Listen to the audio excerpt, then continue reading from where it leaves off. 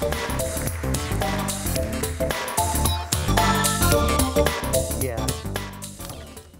Be really hard to follow Victor's talk, uh, so I apologize in advance.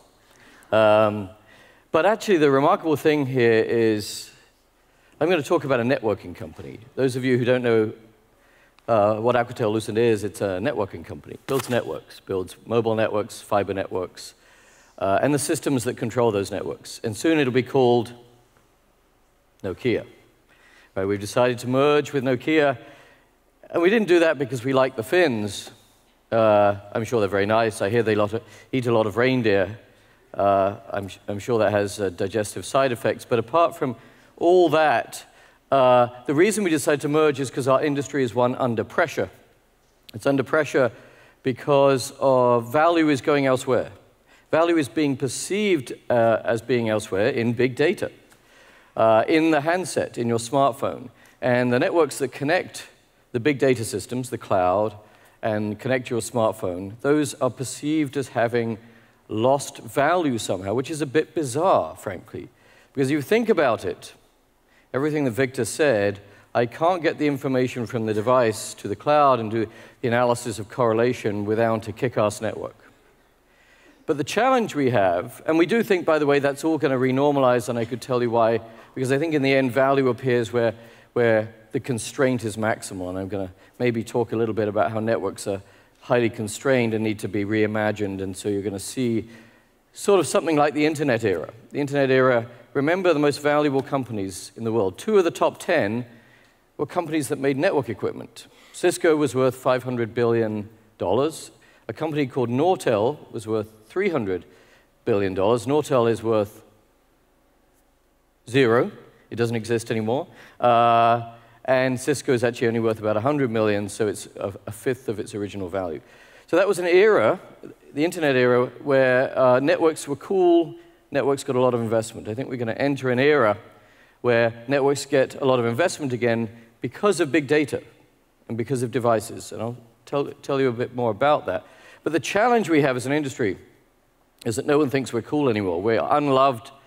If it's not, if it's still politically correct, we are the bastard children, we are the black sheep, uh, we are the network. And that's not very fun.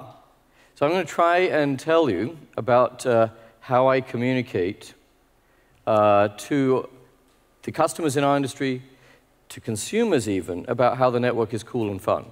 Because if you do that correctly, if you do that correctly, then maybe investment reappears. Uh, and maybe you rejuvenate an industry just based on communication because the facts don't really change. You need to connect the device to the cloud. You need a network to do that. It's indisputable. The strange thing is the perception has gone. And if we can change that perception, money will appear because the logic is irrefutable. So I'm going to tell you a little bit of that story. And I think what you'll find is the interesting part is it resembles Victor's talk. It's nowhere near as good as Victor's talk but it is at least related. So, um, okay, I want to start with the point of uh, this place I run called Bell Labs. Uh, that's not what it looks like anymore. That's where it started in New York City on West Street, and then we moved to the lovely, lovely state of New Jersey, which is where I currently live.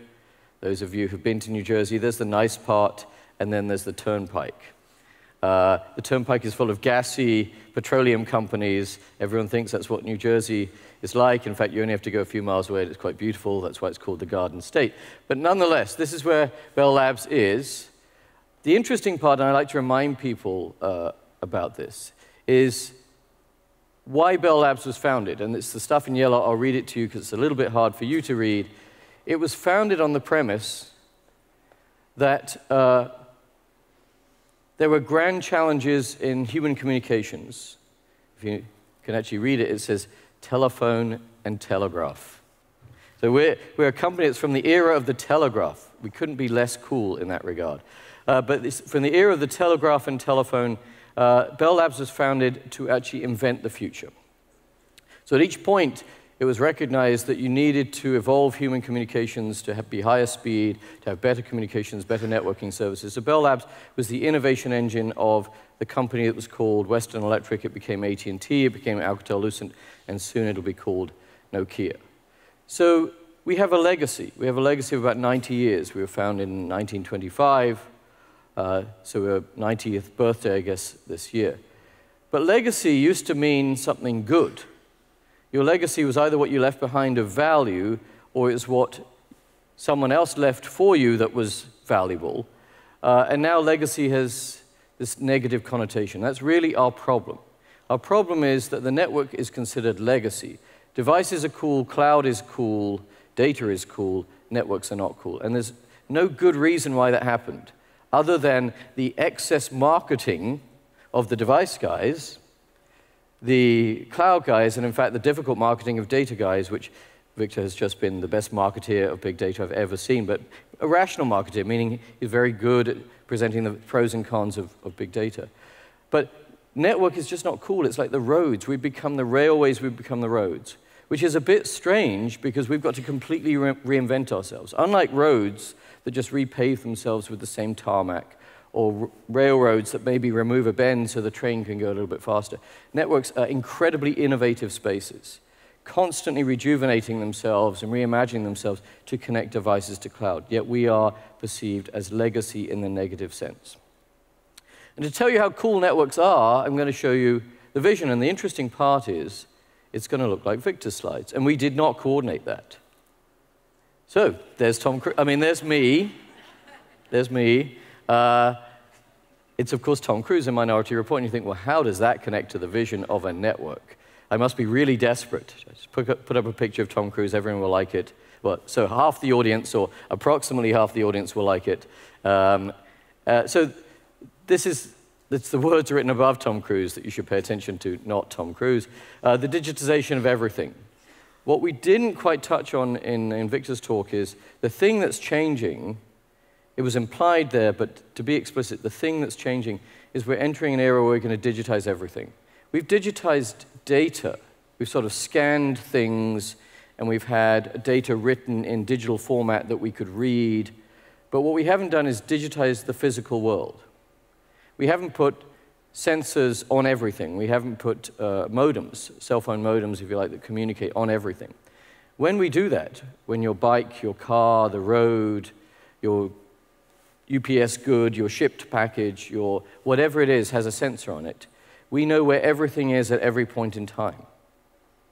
Now, the interesting part is, I don't think we need to know what it is in terms of what it's doing. We just need to know where it is, and from that we can actually uh, imply or infer a lot. So, one of the things in my talk is I'm going to say I actually believe in big data, but I believe in the anonymized form of big data, which is just where is it and where is it going, actually provides an awful lot of valuable information that allows us to achieve perfect knowledge. Perfect knowledge in a way that's non intrusive, and I'll explain that a bit, a bit more. But actually, in the end, not just to deliver personalized content, but this is the goal. The goal is life automation. And I don't think I need to know a lot about you to automate your life, because automation is about fairly simple stuff. And to try and convince you, I'll tell a story of a, uh, a presenter I saw when I was a kid. I grew up, as you may tell, uh, in the UK and we only had three TV channels. We now have five. Uh, no, uh, it's more than that. But uh, on the one TV channel that we all watched, there was a presenter that, uh, that had a trick he did with an audience. He said, Just give me three pieces of information about you, uh, and I will tell you everything else about you. And the three he asked for, so of course he did this on the audience. If I was good, I would do it with you, but I don't know anything. Um, your name, your Christian name, your first name, because that gave you uh, your generation. Because Christian names tend to change every 10 years, right? They're, they're in, in fad or they're not. Secondly, was your address, and that's pretty obvious. It told him where you lived and whether it was affluent or not so affluent. So it sort of gave you socioeconomic status. And the last was which newspaper you read. Uh, because that would tell you political leanings. And he said, from those three pieces of information, I'm going to predict how many children you have. Do you have a dog? uh, what, what line of work you're in, you know, are you married or whatever. Uh, and he was relatively accurate, of course, because the trick works. And he said, if you tell me one more thing, do you eat baked beans or not, I'll tell you everything. And I, I don't understand that one, but apparently it's, it's very important. Uh, but the point is, if you think about what I said, it was your name, your address, and the only other thing was which newspaper you read. Now we have that information, the name and address, from a network. Your cell phone moving, I know who you are because I have your name if I'm a network operator, because you, you took a, a service from me. I know where you are all the time because I have to do that to allow you to move around. You may not realize, but every time you move, to allow you to move from here to there and still have a cell phone uh, signal, they're tracking you constantly. Cell phone operators know exactly where you are at all points in time. And now, with the advent of big data and maps, I can tell what the name of the place is you are. And I can tell where you live because I know where you go at the end of the day. And if you keep going there, I can assume you live there. Or you're just lost uh, in the same sort of way. But you can see that just by using location and tracking it and then mapping it to a map, a map says you went to you know, McDonald's or Target or whatever, uh, and, and I know who you go with because I can see people who do the same thing as you repeatedly. I can predict they're your friends or they're your family because they went home with you at night. So I can understand quite a bit without actually knowing the content of what you did. I don't know which movie you watched. I don't know that you bought Pop Tarts at Walmart. But maybe I don't want to know. Maybe it's good enough that I know that 80%. Because I'm into life automation. I'm not into selling you more Pop Tarts. I'm not into automating the efficiency of some process. I just want you to have an easier life. And maybe all I need to know for that is where you are, when you, when you went there, and who you went with. And that might actually allow me to automate things. And that's network information. So this is my story about the future of networks, is the network has all that information. And you don't have to give any permission for that. It exists. You give permission just by taking cell phone service.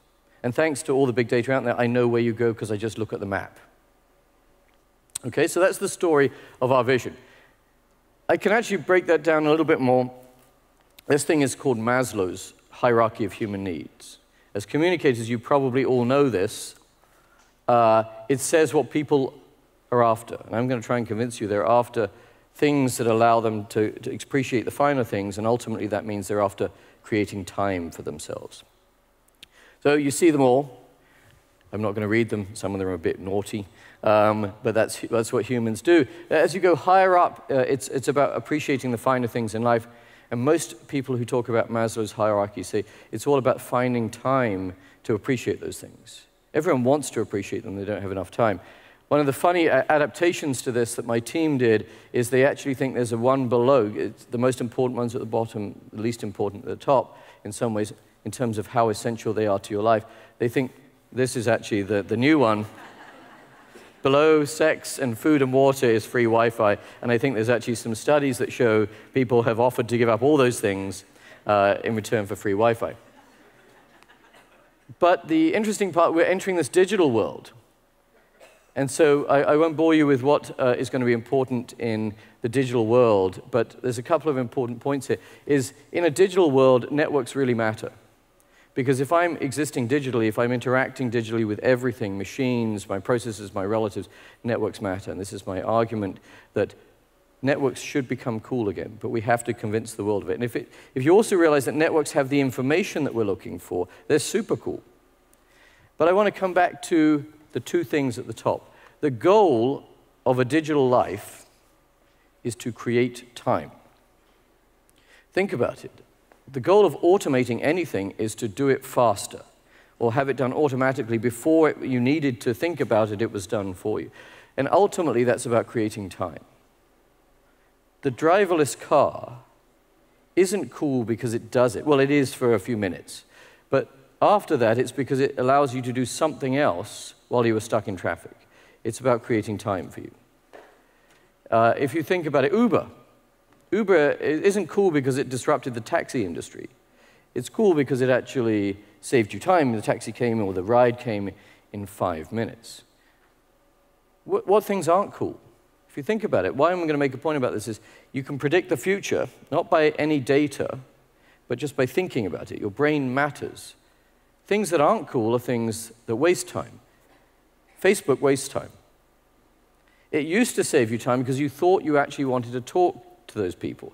Then you realize they have nothing interesting to say, or only very few of them have something interesting to say. So you find yourself wasting time on Facebook, and Facebook, I think, is desperately looking for a way to be relevant again and save time. Google, on the other hand, definitely saves time.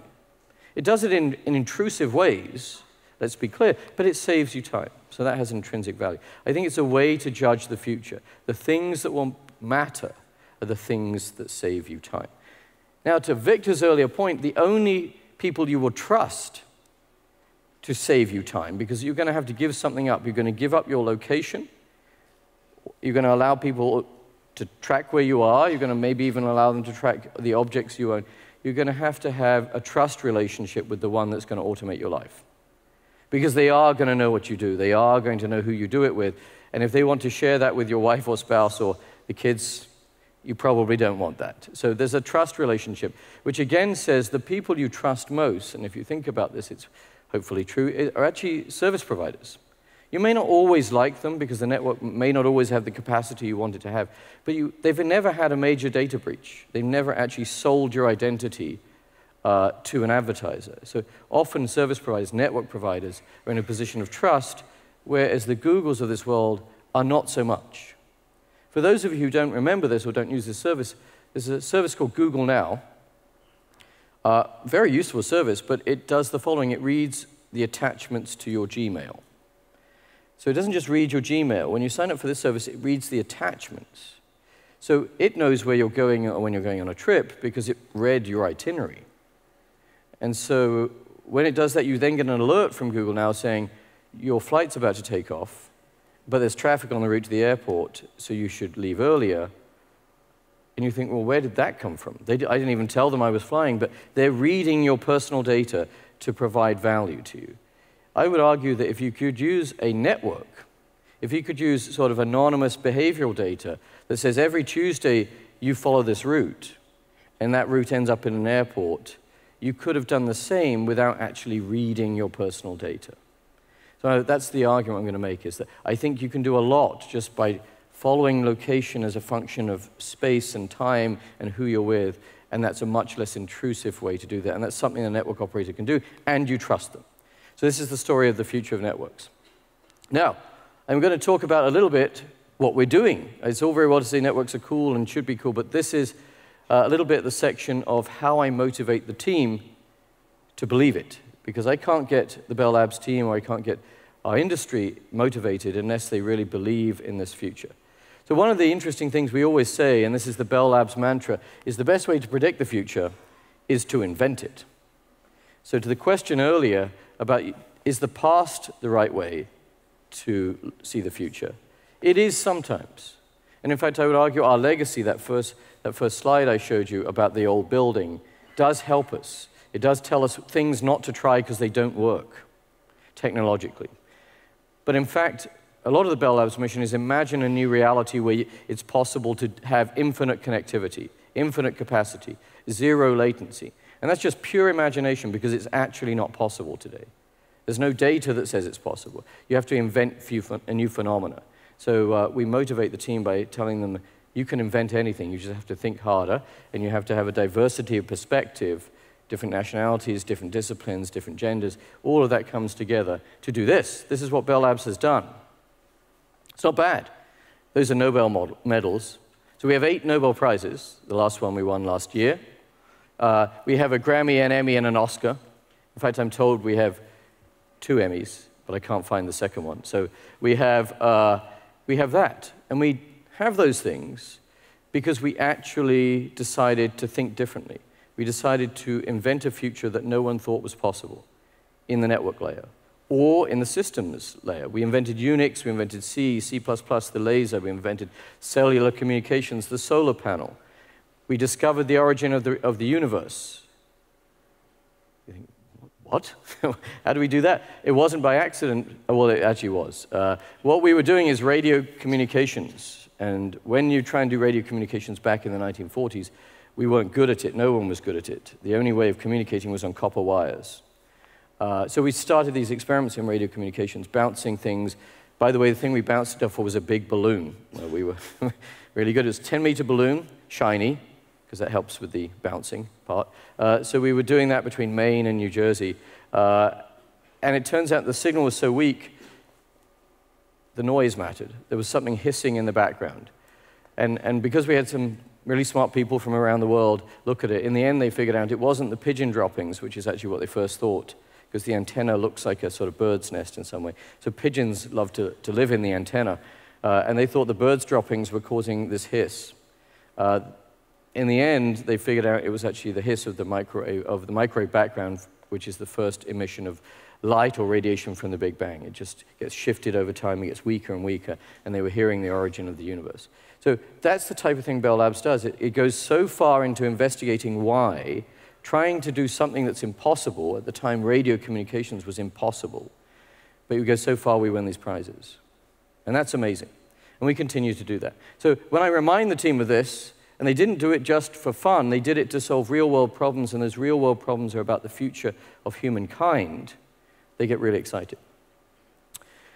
There's a little bit of this story I'm just going to share is there's an exact parallel between physical delivery networks and digital delivery networks because I'm going to argue that we're moving from a world where physical delivery matters to digital delivery. So it's not just that we're connecting everything, we are going to try and digitize every single thing we possibly can and then recreate it at the edge. The other part of digital is 3D printing.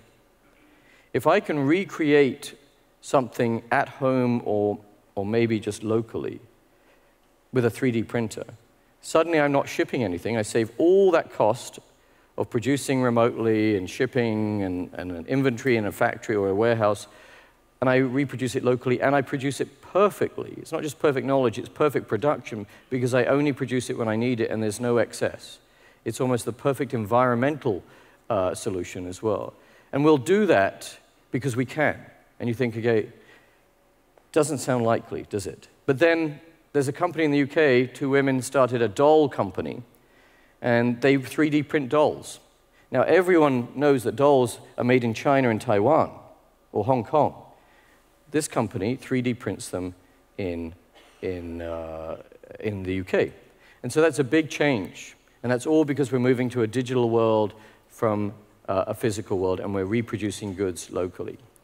So this is the sort of where I'll wrap up. The conundrum we have is we exist in an industry where we've got a brand associated with legacy, we've got a brand associated with invention, but we can't seem to communicate it correctly. And what we do, though, is we actually increasingly connect those two. The legacy brand, Alcatel Lucent, we are, are connecting with the invention brand more and more. And by doing that, we're actually sort of rejuvenating our industry. You'll see us talk a lot about Bell Labs in our industry. And it's actually because it's the brand of creativity, of invention, of Nobel Prizes. And it's the way we've chosen to go back to the industry and say, it is cool to be us. It is cool to be in the network layer because we're in the middle of everything connecting those devices to the cloud. So at the end of my presentation, they asked me, what does it take to give a good presentation? Uh, and I found this. it's, this is what it takes. Uh, engage, connect, and persuade. Actually, I hope that my answer is you have to have a compelling story. And even in our industry, uh, we tell compelling stories so we feel better about ourselves because we're in that sort of negative space. It has to be credible. There actually has to be defensible data in it, and it can't just be fluff. You have to be able to prove your point. And then you have to be charming, and the only advantage I have there is I have an accent but find a way to have uh, some level of charm. So that's, that's it. I hope you enjoyed the talk. Uh, I hope you see our industry in a different light now, uh, but understand the role communications plays in telling that story because nothing changed other than the communications.